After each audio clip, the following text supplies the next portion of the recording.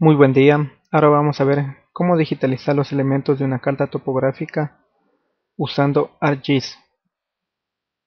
Antes que nada, es recomendable que la carta al momento de escanear cuente con una buena resolución y esté alineada correctamente.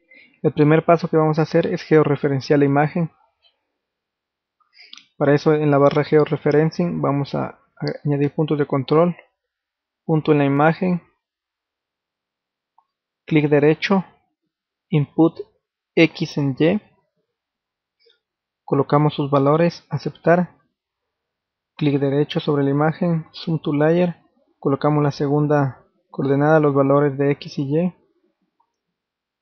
clic, clic derecho, input X en Y,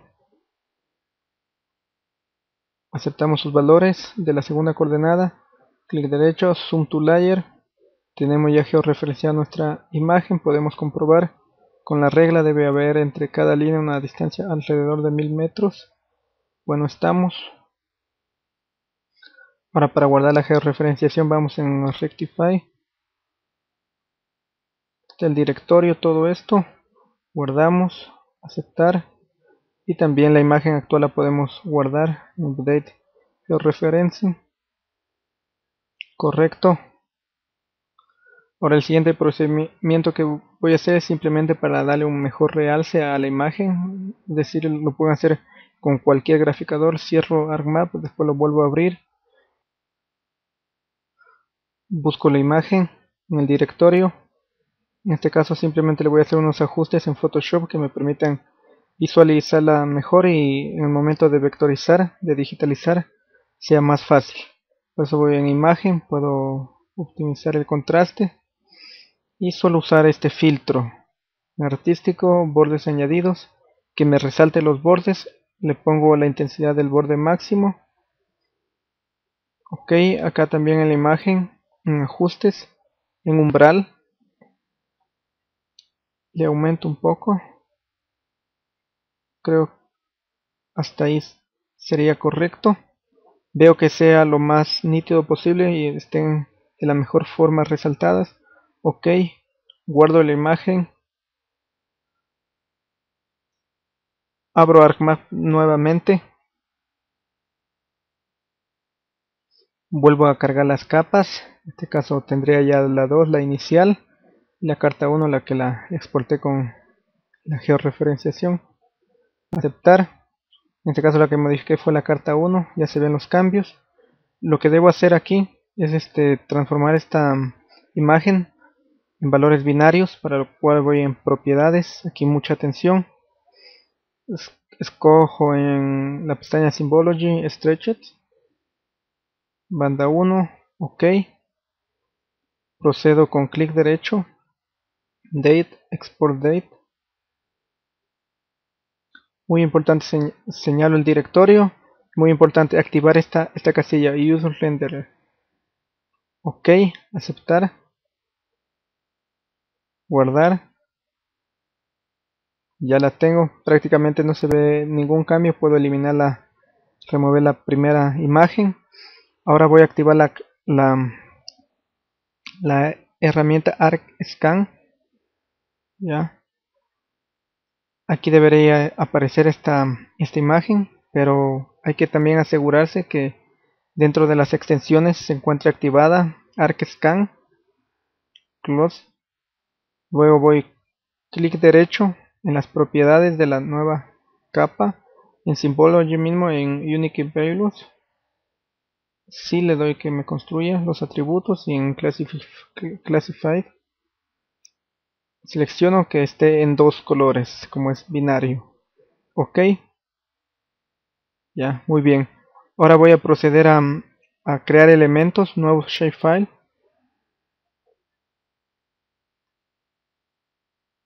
En este caso creo una capa en New Shapefile. Sería curvas para curvas de nivel. Tipo polilínea. Selecciono su proyección. En este caso deben seleccionar la suya para su área de estudio. Ok. Voy también a crear una de ríos y un polígono para el lago. ahora el lago este ya es tipo polígono.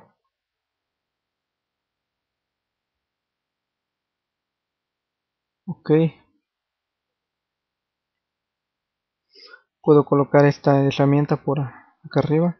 Ahora inicio edición start editing. Selecciono mis curvas. Continuar. Y vemos que se activa ya las herramientas de la, de la capa de la barra de ArcScan aquí existe por ejemplo el raster de clean, clean up.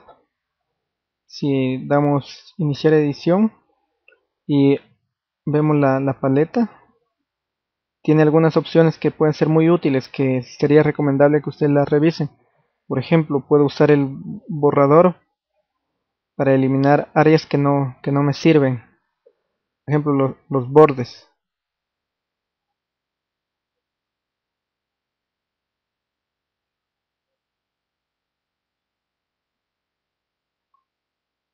o el lápiz para marcar continuidad en algunos elementos que lo requieren. Bueno, antes de continuar voy a la capa curvas agregarle un campo para la cota que olvidaba. Recordemos que para agregar campos debe estar en Stop Editing. Abrimos la tabla de atributos, Add Field, Add Field, seleccionamos cota pues el tipo W. Ok. Cerramos. Y volvemos a iniciar edición.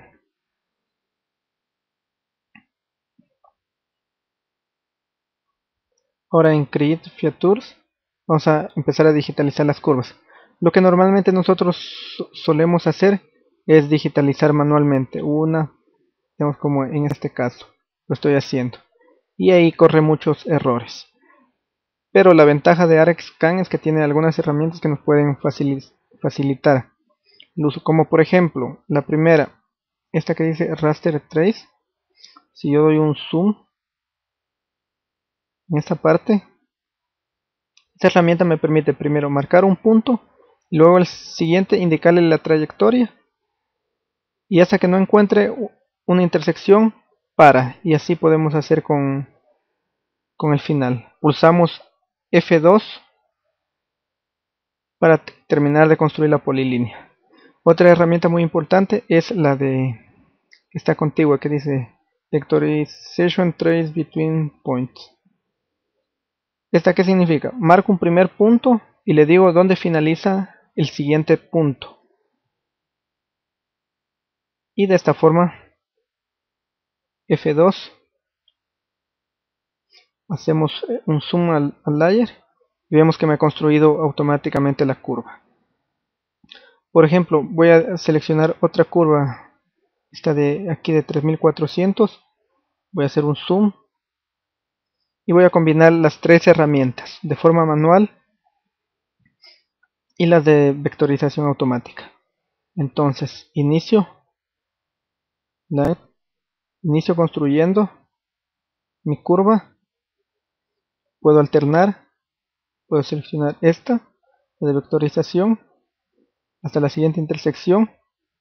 Acá puedo pasar con la de dos puntos simplemente hasta acá.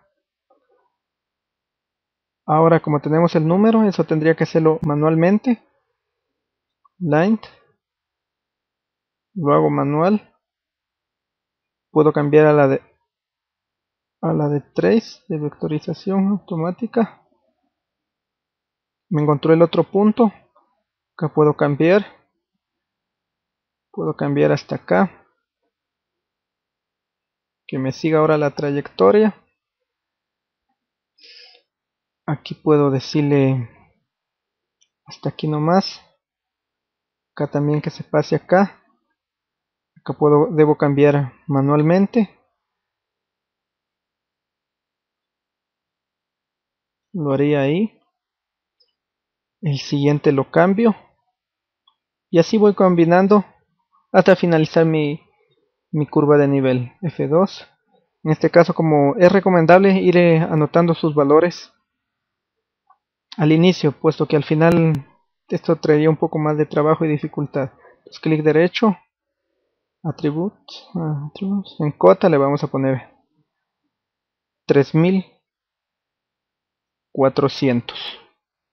Aceptamos. Y podemos este, continuar digitalizando digitalizando las siguientes este los siguientes elementos.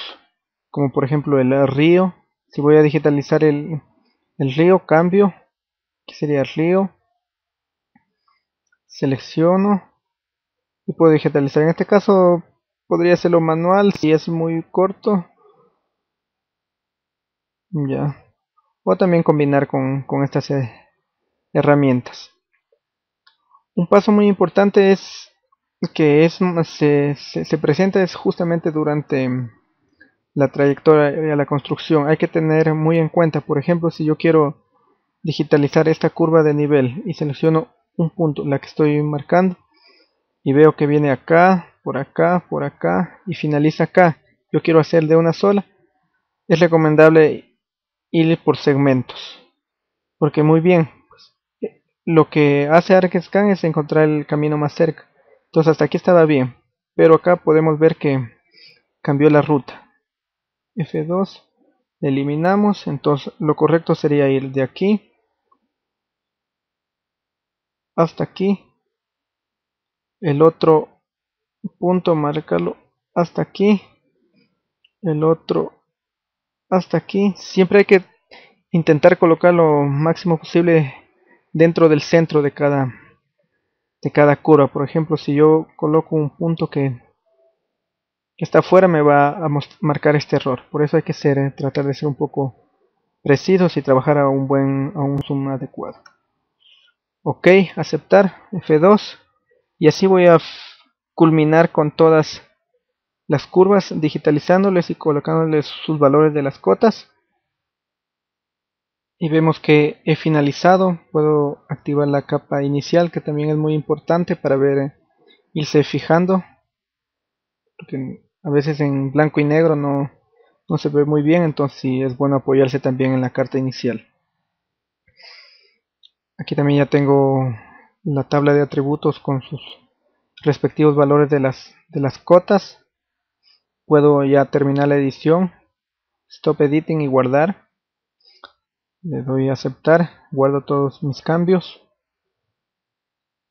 Una de las ventajas de utilizar la herramienta ArcScan para digitalizar es la principal, nos ahorra tiempo y también así este errores en la digitalización. Muchas veces cuando lo hacemos manualmente podemos desviarnos de su trayectoria.